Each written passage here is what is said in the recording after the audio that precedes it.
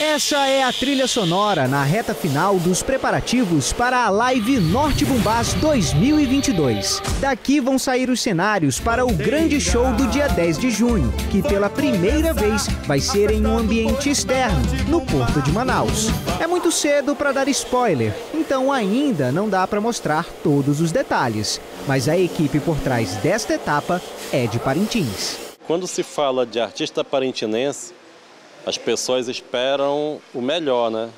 Então eu não posso levar o nome de Parintins e mostrar qualquer coisa. Eu tenho que honrar o Festival de Parintins e essa, por isso a nossa dedicação. Assim como o Misael, mais de 80 trabalhadores estão envolvidos no projeto. A maioria é de Parintins.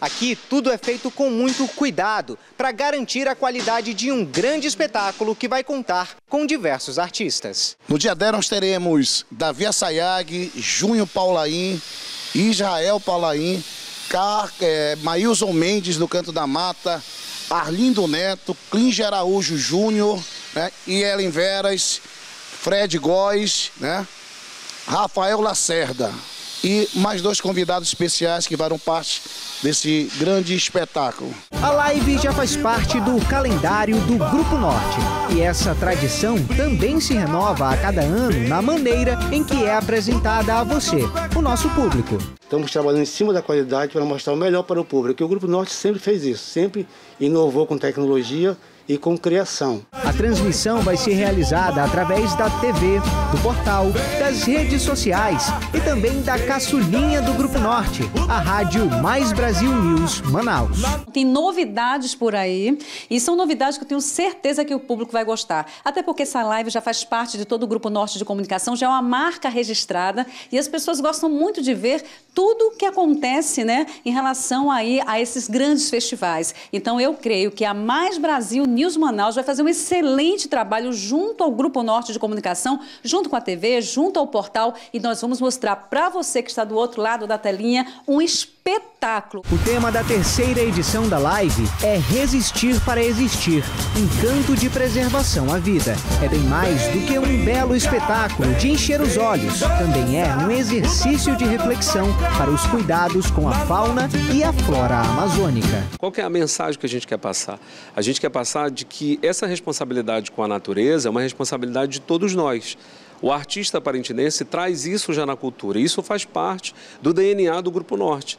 É esse compromisso, o compromisso que nós tivemos ano passado com o Parintinense, de fazer uma live solidária, de fazer a arrecadação de alimento e levar esse alimento até o caboclo, isso foi muito importante para a gente. Então a gente está envolvendo um grupo muito grande de, de, pessoas, um grupo grande de profissionais, os artistas que estão participando. Então, querendo ou não, isso é mais uma vez a responsabilidade que o Grupo Norte tem com o artista parentinense, com a nossa cultura, que isso faz parte do, do nosso DNA.